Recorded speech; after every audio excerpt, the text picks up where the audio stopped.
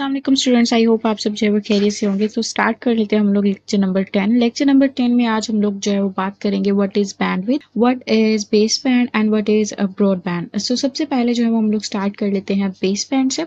और base band start करने से पहले मैं आपको बता दूँ कि आपको जो है वो सारे वही टॉपिक्स करवाए जा रहे हैं जो के इम्पोर्टेंट हैं। सो so, उसी के हिसाब से आपके सारे लेक्चर जो है वो कंडक्ट हो रहे हैं। सो so, अपने आप को ज़रा थोड़ा सा तसल्ली में रखें। आपकी कोई भी चीज़ इरेगुलर नहीं आपको या इरेलीवेंट नहीं करवाई जा रही है। सो बेस बैंड विथ से स्टार्ट कर लेते हैं हम लोग कि what is bandwidth basically bandwidth जो है वो कम्युनिकेशन के अंदर या नेटवर्किंग के अंदर बैंड विथ कहा जाता है कि amount of data that can be transferred in a unit time जैसे कि फॉर एग्जांपल आप समझ लें गाड़ी है, ठीक है? एक गाड़ी के अंदर जो है पाँच या छः लोग जो है वो मैक्सिमम फिट हो सकते हैं।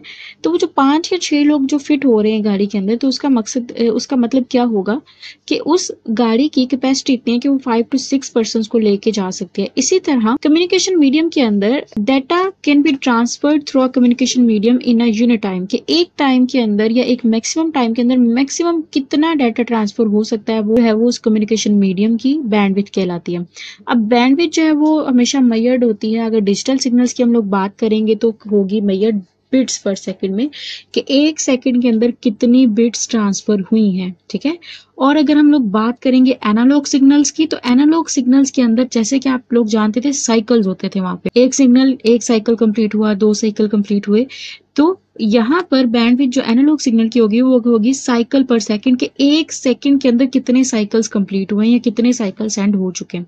तो ये तो थी हमारी जी बैंडविथ उसके बाद आ, आ जाता है हमारे पास baseband so baseband is a communication technique in which digital signals are placed on the transmission line without the change in the modulation. कि जिस तरह आपका एक्चुअल डाटा है ना, उसी को, उसको एज इट इज़ सेंड कर देना है। फॉर एग्जांपल मैंने पहले बताया था कि डिजिटल सिग्नल्स को कन्वर्ट किया जाता है। एनालॉग सिग्नल में देन वो सेंड होते हैं।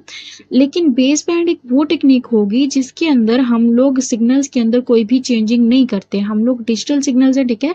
Digital signals as it is send होते हैं और रिसीवर को एज इट इज़ उसी के फॉर्मेट में रिसीव हो जाएँगे, जिस फॉर्मेट में सिग्नल सेंड हुआ होता है। क्लियर हो गया यहाँ तक? It means that digital signals are directly transmitted over the transmission line it transmit only one signal at time अब बेस बैंड जो है वो एक फ़ायदा तो इसने ये दे दिया कि हमें सिग्नल्स को कन्वर्ट नहीं करना पड़ेगा एनालॉग में और हम as it is directly send कर देंगे। लेकिन एक इसका थोड़ा सा नुकसान ये होता है कि बेस बैंड के अंदर हमारे पास सिग्नल जो है वो एक सिग्नल एक टाइम पर ही सेंड होता है। दैट्स वाई ये थोड़ा स्लो हो जाएगा। और कॉमनली जितने भी हमारे पास डिजिटल सिग्नल्स होते हैं, जो डिजिटल सिग्नल सेंड हो रहे होते हैं, उनको हम लोग बेस बैंड सिग्नल्स भी ओके okay जी तो now let's talk about the broadband अब ब्रॉडबैंड क्या होता है? आप लोगों ने इसको इसी तरह समझना है कि ब्रॉडबैंड हमेशा वहाँ इस्तेमाल होगा जहाँ पर आपने लॉन्ग डिस्टेंस ठीक है? लॉन्ग डिस्टेंस में डाटा भेजना और वेरी हैवी डाटा लाइक आपको वीडियोस इमेजेस वगैरह भेजनी है तो वहाँ पर हम क्या इस्तेमाल करेंगे? ब्रॉडबैंड अब ब्रॉडबैंड ना एक टेक्निक इस्तेमाल करता है, जिसको वो बोलता है एफडीएम यानी कि फ्रीक्वेंसी डिवीज़न मल्टीप्लेक्सिंग अब ब्रॉडबैंड क्या करता है? जैसे बेसबैंड में हम लोगों ने बात की थी कि ये बगैर मॉड्यूलेशन मतलब एक सिग्नल को दूसरे सिग्नल में कन्वर्ट किए बगैर सेंड करता है। अब ब्रॉडबैंड क्या करता है? ये फ्रीक्वेंसी डिवीज़न मल्टीप्लेक्सिंग करता है मतलब कि जितना भी सिग्नल होगा, उसकी पहले तो ये मॉड्यूलेशन करेगा, यानी कि सिग्नल को दूसरी फॉर्म में चेंज करेगा। जितनी भी फुल स्ट्रीम होती है ना डाटा को, उसको छोटे छोटे पार्ट्स में डिवाइड करता है, और उन पार्ट्स की फिर मॉड्यूलेशन कर करके उनको जो है वो आगे भेजता है। मतलब कि उनको डिफरेंट फ्रिक्वेंसी बैंडविथ के हिसाब से छोटे छोटे ग्रुप्स में बना के ये सेंड करेगा। Each part of communication line can be use to trans for transmitting data separately और इसके अलावा ब्रॉडबैंड जो है वो फास्टर हो जाएगा हमारे बेस बैंड से। तो यहाँ तक हमारे तीन टॉपिक कवर हो गए आज के, जो कि थे हमारे what is bandwidth what is baseband and what is broadband अब जो नेक्स्ट हम लोगों ने करना है नेक्स्ट लेक्चर का थोड़ा सा इंट्रोडक्शन मैं आपको करवा दूँ। नेक्स्ट लेक्चर में हम लोगों ने पढ़ना है what is communication medium media इसके बारे में हम लोग इस चैप्टर में स्टार्ट से पढ़ते हुए आ रहे हैं कि कम्युनिकेशन मीडिया हमेशा वो जो है वो पाथ होगा जिसके थ्रू हमारा डाटा एक जगह से दूसरी जगह जाता है। वे कह लें आप लोग पाथ कह लें आप लोग, ज़रिया कह लें कि जिसके थ्रू हमारा डाटा एक जगह से दूसरी जगह जाएगा। अब कम्युनिकेशन मीडिया दो तरह के होते हैं। एक तो होता है गाइडेड मीडिया दूसरा हमारे पास जी होता है अनगाइडेड मीडिया ठीक है? जैसे कि आपको बुक्स के ऊपर जो है वो शो हो जाएगा। गाइडेड मीडिया अनगाइडेड मीडिया क्या होगा? आप लोगों ने बस इतना याद रखना है गाइडेड मीडिया हमेशा वो होता है जो वायर्स की शक्ल में हो। मतलब कि अगर आप लोग तारों का इस्तेमाल कर रहे हैं तो वो क्या होगा? गाइडेड मीडिया होगा। सिग्नल वेव्स का इस्तेमाल नहीं कर रहे हैं ओके जी गाइडेड मीडिया क्या होगा? Directly connected with the each device using physical media known as wires अगर वायर्स के थ्रू आप लोगों ने अपने डिवाइसेस को कनेक्ट किया है तो मतलब आप वहाँ पर कौन, किसका इस्तेमाल कर रहे हो? गाइडेड मीडिया का इस्तेमाल कर रहे हो, ठीक है?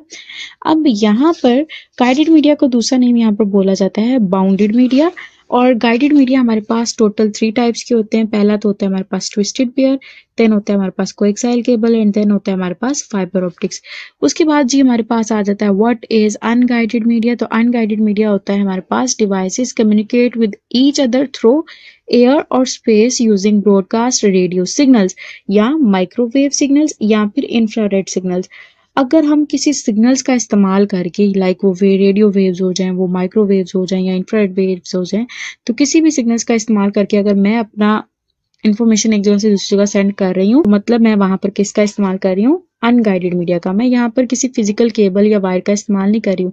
मैं किसका इस्तेमाल करूँगी? एयर का, ठीक है? एयर या स्पेस के अंदर आप लोग सिग्नल्स के थ्रू अगर कम्युनिकेशन कर रहे हैं तो मतलब हम वहाँ पर अनगाइडेड मीडिया का इस्तेमाल कर रहे हैं।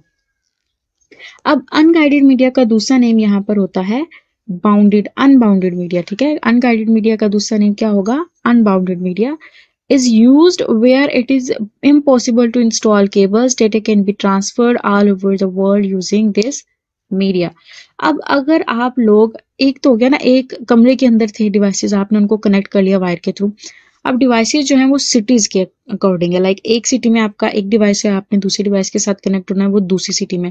तो क्या आप सिटी से लेकर सिटी तक तार बिछाएँगे? ऐसा तो नहीं ना होगा। तो वहाँ पर हम लोग क्या इस्तेमाल करते हैं? वहाँ पर हम लोग जो है वो मीडिया का इस्तेमाल करते हैं अनगाइडेड मीडिया का। और पूरी दुनिया में जितनी भी कम्युनिकेशन हो रही है, वो अनगाइडेड मीडिया के या अनबाउंडेड मीडिया के थ्रू ही हो रही है। और अनगाइडेड मीडिया को करवाने के लिए जो तीन टेक्निक्स हमारे पास होती है, वो है या तो हम लाइक माइक्रोवेव का इस्तेमाल करेंगे, या जो है हम लोग कम्युनिकेशन सेटेलाइट्स का इस्तेमाल करेंगे, या फिर मोबाइल कम्युनिकेशन का। ये इन तीनों की like guided media unguided media की डिटेल है, वो इंशाल्लाह हम नेक्स्ट लेक्चर में करेंगे। उसके बाद हमारा चैप्टर जो है, वो ये वाला चैप्टर कंप्लीट होगा।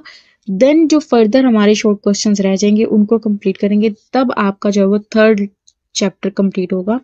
सो काइंडली स्टूडेंट्स अगर आप ये कह रहे हैं कि आपको स्मार्ट सिलेबस के अकॉर्डिंग करवाया जाए तो उसके अकॉर्डिंग जितना आपका पॉसिबल इंपॉर्टेंट डाटा है, आपको सिर्फ़ वही करवाया जा रहा है। इनशाला मिलते हैं फिर नेक्स्ट वीडियो में, तब तक के लिए अल्लाह हाफिज़ अपना ध्यान रखें।